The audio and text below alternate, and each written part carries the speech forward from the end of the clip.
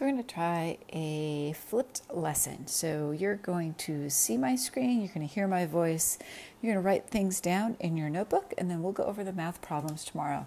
I don't expect that you understand and know how to do everything perfectly. This is just to get a preview before we do the problems during class. So write down everything you see, pause the video when you need to, and you can rewind things if you need to rewind them as well. Along the way, you're going to see text boxes that I'll ask you to do some math problems in your composition notebook and then give me an answer so that I can see before class what we can and what, what we can do and what we need to work on. So write this down 1.4 Pythagorean theorem. So the Pythagorean theorem, draw the picture that you see. So you can write it a squared plus b squared equals c squared or c squared equals a squared plus b squared. So, terms that you need to know the legs are the short sides, A and B, and the hypotenuse is the longer side. So, the two short sides are A and B, A and B, and they are connected with the right angle. So, you know those are the two that are next to each other with the right angle. And then the hypotenuse is the longest side, so that's important and that's side C, and that's directly across from, not next to, it's across from the right angle. So write all this down. If you need to pause the video, pause the video. When you're ready to move on, go ahead and hit play. So copy down example one, finding the hypotenuse, and copy down the picture. So we have the picture, so they show you where the right angle is with a little square. You have the two legs, and you're trying to find C or the hypotenuse. So we want to find length of C, hypotenuse. I always rewrite the formula. It helps me to memorize it. I know um, A squared is 6 squared. I know B squared is 8 squared. I'm trying to find C squared.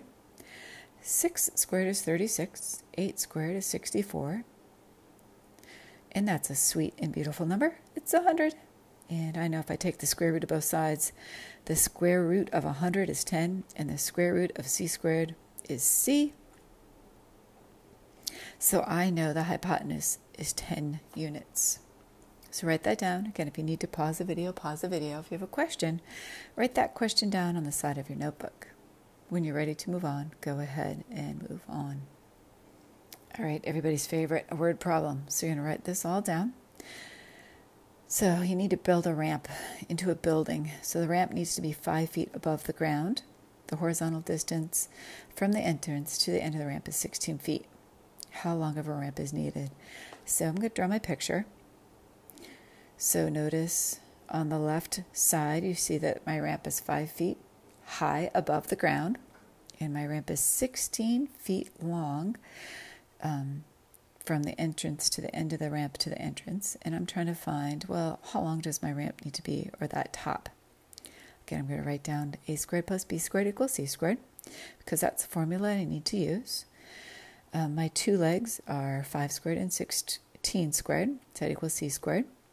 5 squared is 25, 16 squared is 256, and c squared equal, and that's what we're trying to find. Okay, that equals 281. That's not a perfect square. So we're going to round to the nearest foot. If I take the square root of 281, the closest is about 17 feet. So again, here is my my two legs. There are my two legs. And, whoops, sorry about that. So those were my two legs. Here are my two legs. There's going to be a right angle here because my two legs are connected by my right angle. And then directly across from the right angle is the hypotenuse or C, which is what we're trying to find. So that's we're trying to find how long does this ramp need to be. All right, so write that in your notebook. If you need to pause the video, pause the video. When you're ready to move on, go ahead and move on. Okay, you're going to try these two on your own. So again, you're going to need to pause the video for this one. So you're going to pause the video. You're going to uh, write down the questions. If you need to draw a picture, draw a picture. And you're going to solve them, and then you're going to give me the answer in the text box on the right.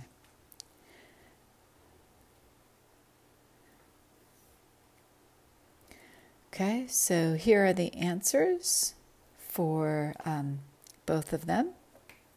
Oops, it looks like I forgot to make this one look purple. So here's the answer for the first one. Find the length of the hypotenuse of a right triangle. So I would probably have drawn the picture. There's my right angle. I have legs 12 and 16, and I'm trying to find C. So 12 squared, 16 squared, and I get 200. A bridge, the next one has 22 foot horizontal and 25 foot vertical. So remember, horizontal is left and right, vertical is up and down. And find the length of each diagonal. So that's going to be the side. So I could draw my picture. Here's my vertical 25. Here's my horizontal 22. And then I want to find the diagonal. Okay, so do the math and you get 33, about 33 feet. So go ahead and make any corrections that you need to in your notebook. And if you have questions again, go ahead and write those on the side. If you don't know where the numbers are coming from or why we're doing what we're doing, make a note and then we can look at that tomorrow during class. Okay, that was the end. So we're going to do this tomorrow during class. So right now, if you have any questions, write down those questions. So that was a quick, nice lesson. See you guys tomorrow.